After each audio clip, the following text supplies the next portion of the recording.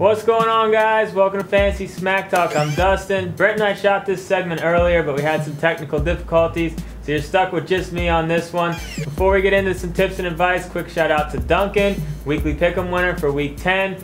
Brent will be in touch to get your shirt size, and I'll stick your shirt in the mail. Be there before you know it. All right, let's get into some tips and advice. Fantasy playoffs just around the corner. We took a look at the matchups and found three teams with good matchups, three teams with bad. Now, I know the trade deadline's come and gone in most leagues, but you need to know this stuff for matchups and for pickups and all that good stuff.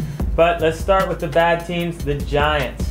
So guys like Nicks, Bradshaw, Eli, not going to really like their playoff schedule. They're at Minnesota, then they got Philly, then at Green Bay. Not too good there. The Vikings are next. They don't have the best playoff schedule either. You know, AP, Brett Favre, you probably shouldn't be starting him anyway, but Percy Harvin. They got the Giants, Chicago, then at Philly. That's pretty ugly. But the worst of them all is the Jets. It is awful, their playoff matchup. They got Miami, then they're at Pittsburgh and at Chicago. So not looking good. If you have any Jets receivers or LT or Sanchez, not pretty for them.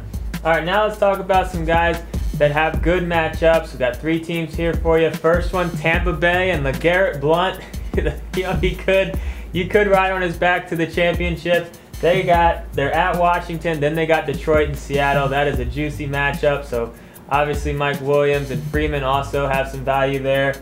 The Titans also have a good good matchups. They got Indy, Houston, then at Kansas City. And a lot of weak defenses there. And then also Oakland, not a good. Uh, Oakland also really good matchups. They're at Jacksonville, then they got Denver and Indy. So you know if your trade deadline hasn't passed, you might want to trade for some of these guys with good one, good matchups. Get rid of guys with bad, but obviously keep this in mind as far as all your pickups and moves moving forward. All right, it's forum time. We're going to go ahead and answer some of your questions. And the first one comes from finally Detroit wins, and he wants to know should he start Felix Jones against Detroit? Should he start Blount versus San Francisco or Knowshon Moreno against San Diego?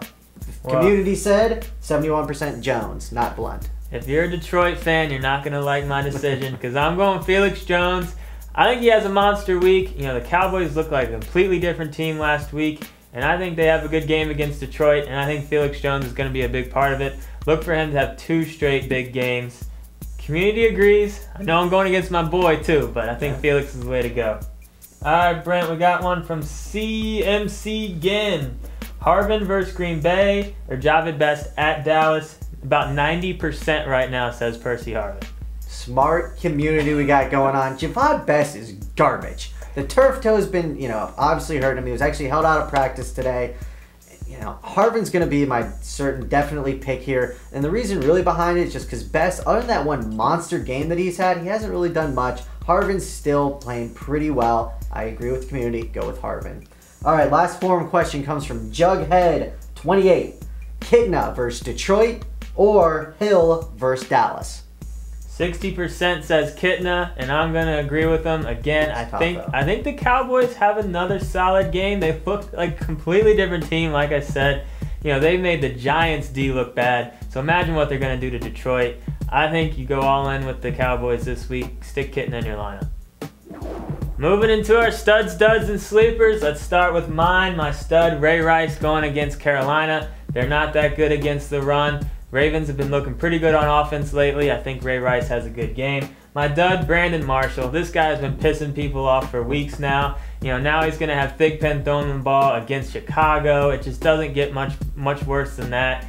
I wouldn't bench him for just anybody, but if you got a good receiver on your bench, go ahead and make the swap. And my sleeper, been talking about him, Felix Jones. You know, I talked about on the waiver wire show. He was only owned in 65% of leagues after last week. Go ahead, if he's available, pick him up and stick him in. If you got him on your bench, find a way to get him in your lineup.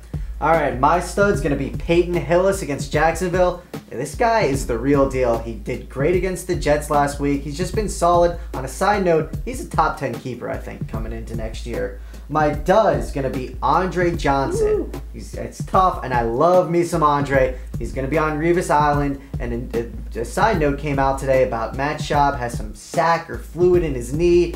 You know, he might have to get a little bit of work done on it. He should be fine for Sunday, but you know, that's a lot of question marks. If Schaub doesn't play, he's certainly going to be a, strong candidate for a big time dud. And then my sleeper, Nate Washington against the Washington Redskins. The reason behind this is Randy Moss. Anywhere he's gone, that second receiver's really excelled. Wes Welker, obviously now he's taking a hit with Moss being gone. Percy Harvin was playing great when he was there. Nate Washington caught a touchdown last week. I think he gets in the end zone again.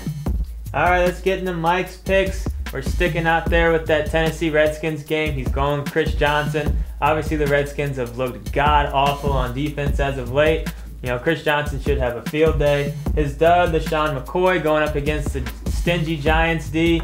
You know, McCoy's a little banged up right now. He's just not that high on McCoy this week. And his sleeper, Mario Manningham, he's going to get another start with Steve Smith being out. He had a big week last week. He's looking for two in a row. He's going up against the Eagles this week. So that's it for this week's show. Brett and I are going to be in the forums as much as we can this week. And as always, good luck.